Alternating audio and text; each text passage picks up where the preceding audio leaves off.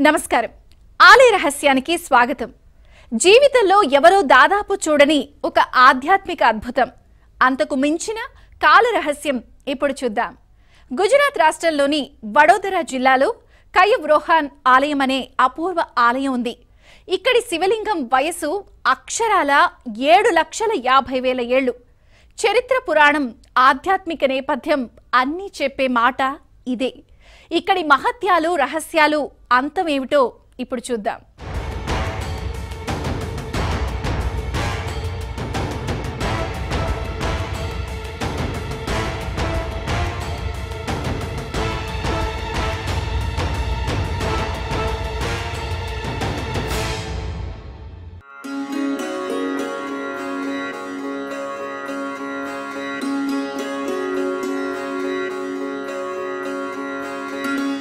ఈ ఆలయ ప్రాంగణంలోకి ప్రవేశించాం. ఇది చాలా సువిశాలం ఎంతో రమణీయం అంతకు మించి ప్రశాంతం. అలా ప్రయాణిస్తూ వెళితే ఆలయ నిర్మాణ రీతి అర్థమవుతుంది. ఇక్కడ మనిషి రూపంలో ఐదు వేల ఐదు వందల ఏళ్ళు శివుడు నివసించాడని ప్రతీతి. శివుడి ఇరవై ఎనిమిది అవతారాలలో ఇది ఒకటిగా చెబుతారు. గుజరాత్ రాష్ట్రంలోని వడోదరా జిల్లాలో ఈ కయవ్రోహాన్ ఆలయం ఉంది. దీని అసలు పేరు కయబ్రోహాన్ లకులిష్నాథ్ మహదేవాలయం. ఈ ఆలయం వేలాది సంవత్సరాల క్రితమే ఇక్కడ స్థాపించబడింది. శివుడు ఇక్కడే కనిపించాడని ఎందరో నమ్ముతారు. శివుడు ఇక్కడ విప్రుడిగా జన్మించాడని పురాణాల్లో వ్రాయబడింది. అందుకే ఈ స్థలాన్ని కయవరోహణ అంటారు. కయ అంటే తల వరోహణ అంటే వంశ్యం అని అర్థం.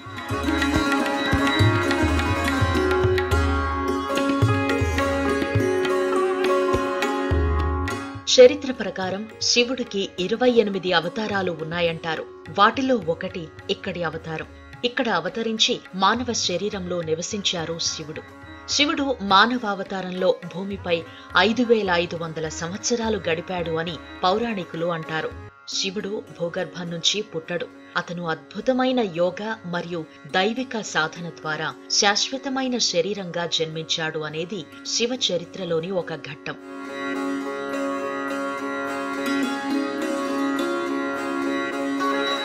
జీవితంలో పునీతం కావడానికి శివుడివి మొత్తం అరవై ఎనిమిది తీర్థయాత్రలు ఉన్నాయని గురువులు చెబుతారు. అలాంటి వాటిలో ఇది యాభై ఒకటవ తీర్థయాత్ర. దీనికి బోలెడంత నేపథ్యం ఉంది. దక్ష ప్రజాపతి యజ్ఞం చేసినప్పుడు శివుడిని పిలవకుండా అవమానించడం వల్ల సతీదేవి ఆత్మశక్తితో దేహాన్ని కాల్చివేసింది. శివుడు అక్కడకు వచ్చి ఆ తల్లి శరీరంతో విశ్వంలోకి వెళ్ళిపోయాడు. విశ్వంలోకి వెళ్ళి శివుడు తాండవం చేయడం ప్రారంభించాడు. తాండవం చేస్తున్నప్పుడు విష్ణువు తన సుదర్శన చక్రాన్ని విశ్వంలోకి పంపించి సతీదేవి శరీరాన్ని నూట ఎనిమిది ముక్కలుగా ఖండించాడు. ఆ ముక్కలు భూమిపై ఎక్కడ పడితే అది శక్తిపీఠంగా ప్రసిద్ధి చెందింది.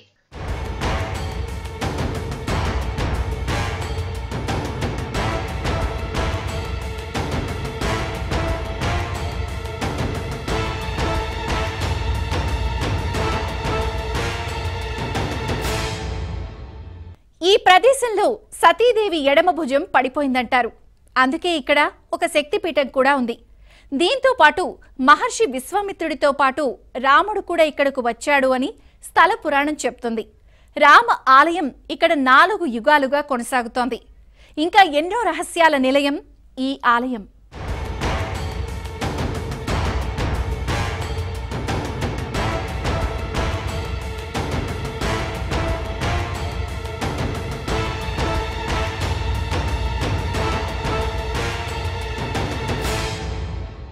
ఈ ఆలయంలోకి శివుడు స్వయంగా వచ్చి ఈ విగ్రహంలో తనకు తాను స్వయంభువుగా వెలిశాడు.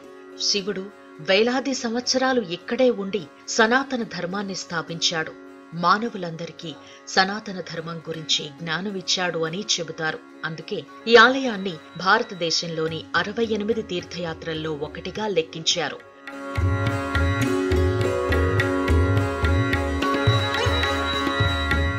ఒక యుగంలో విష్ణువు ఈ పవిత్ర విగ్రహాన్ని చూడ్డానికి వచ్చాడు. స్థల పురాణం ప్రకారం బ్రహ్మదేవుడి విగ్రహం కూడా ఇక్కడ చాలా ముఖ్యమైన ప్రదేశం. ఇలాంటి చోట ఇక్కడికి వచ్చేవారు ఒకే చోట నాలుగు వేర్వేరు ప్రదేశాల ధర్మాన్ని చూస్తారు. ఇక్కడ స్వామిని శంకర్ల కులిష్నాథ్ మహదేవ్ అని పిలుస్తారు.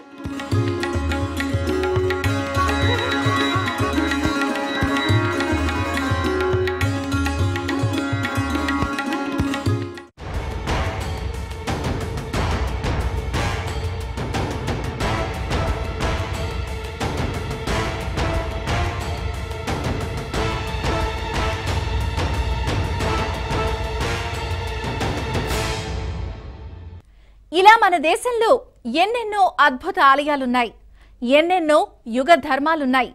ప్రతి చోట ఒక జీవన సత్యం ప్రతి చోట ఒక జీవన మార్గం ఉన్నాయి. అవే ఇలా దేవుని రూపంలో ముక్తినిస్తాయి. అందుకే శివతత్వానికి అద్భుత ఉదాహరణ ఇప్పుడు మనం చూసిన ఆలయం.